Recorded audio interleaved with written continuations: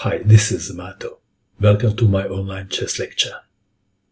In this video I will show you a game between Antonios Pavlidis and Franc Ashiku.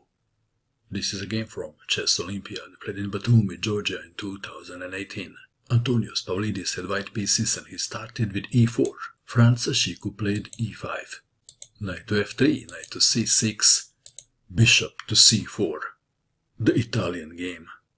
Greek playing Italian game. Well, that is normal. Everybody loves Italian opening. Bishop to c5, d3, knight to f6, bishop to g5, pinning the knight. Asking a question, bishop to h4, a6, knight to c3, black to move. g5 was played. g5 is played when there is no intention to castle kingside. You can't be 100% sure because everything is normal in this time and age. Bishop to g3, d6, a3, knight to d4, intending bishop to g4. White has to play h3 or chop the knight. Knight takes on d4, bishop takes on d4, h4, rook to g8.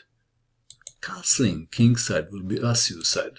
Then h takes on g5, and after h takes on g5, queen to d2. Back to our game. Rook to g8. h takes on g5, h takes on g5, rook to h6, attacking the knight. Believe it or not.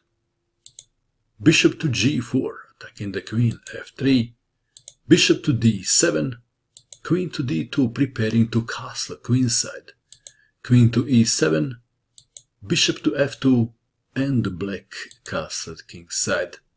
If bishop takes on f2, queen takes on f2, and castling then, then queen to a7 is unpleasant. Back to our game. Franc Ashiku castled queenside, bishop takes on d4, e takes on d4, white move. What is the best square for the knight? What would you do? This is the critical position of the game. Please pause and find the best move for white. Did you pause? What did you find? Well, do you agree that knight to e2 looks like a natural move? Perhaps then black would play d5. So this is a natural move. But there was a big surprise. Antonios Pavlidis played rook takes on f6. Remember, earlier I told you that rook was attacking the knight. Black to move. Queen takes on f6. What else? If d takes on c3, queen takes on c3 defending the rook.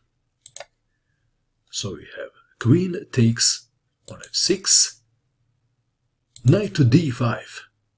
White knight is now the star of the show, extremely well placed. Queen to e5, guarding e7 square. White to move. How to continue? Antonios Pavlidis played queen to a5. Uh, nothing serious, just threatening queen takes on c7 checkmate. b6. White to move. What would you do now? I guess queen takes pawn on a6 is the first move that comes to mind. Do you agree? Well, this is indeed the first move that comes to mind. This is check and then king to b8. And black could put up a good resistance from this position, believe it or not. Back to our game. In this position, there was another surprise. The monster knight strikes again. Knight takes on b6 check. Black to move. King to b8. If c takes on b6, then queen takes on a6 check, and after king to c7, check, and after king to c6, bishop to d5 check, and black must give up the queen to save the king. Nobody wants to do this. Back to our game. King to b8. Knight to d5. Queen to g3 check. King to f1. Rook to c8 defending the pawn on c7. Bishop takes on a6 attacking the rook. Bishop to c6. White to move. White play the move when black resigned. And the move is... What would you do? The move is knight to e7. Black resigned. It's not because the knight is forking two rooks. It is because of the threat. Knight takes bishop on c6. And if bishop moves to a safe spot, then one line goes like this. Queen to b5 check, king to a7, queen to a4. And now, if rook goes to h8, let's try rook to h8 first. Then, bishop takes on c8, discover check, king to b8, queen to b4 check, king to a7, queen takes on d4, forking the king and the rook. After king to b8, queen takes rook. And let's go back. In this position, if rook from c to e8, attacking the knight, the knight to c6 check, forcing bishop takes knight.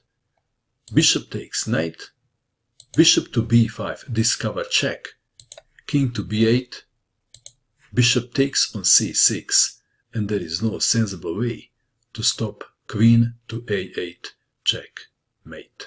Random move, queen to a8 checkmate. What a beauty!